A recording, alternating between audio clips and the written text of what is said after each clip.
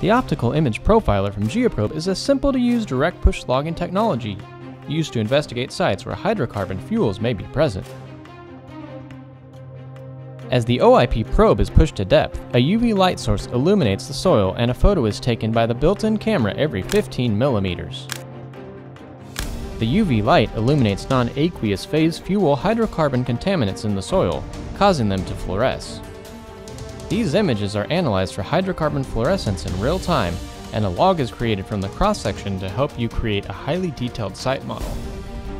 The OIP system simultaneously logs the electrical conductivity in order to classify the physical characteristics of the soil. At any point, the advancement can be stopped and the light source can be switched from a UV light source to a visible light source. This allows a visible image of the soil to be captured and is useful in assessing the type of soil where hydrocarbons are found. This system can be run on any Geoprobe direct push machine with a 60 series hammer.